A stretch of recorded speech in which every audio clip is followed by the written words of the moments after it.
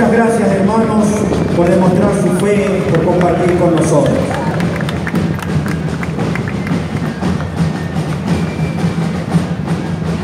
Recibimos a los peregrinos Santiago Apóstol, fuerte el aplauso para ellos. De Santiago del Estero también, un fuerte el aplauso para los santiagueños. También fuerte el aplauso.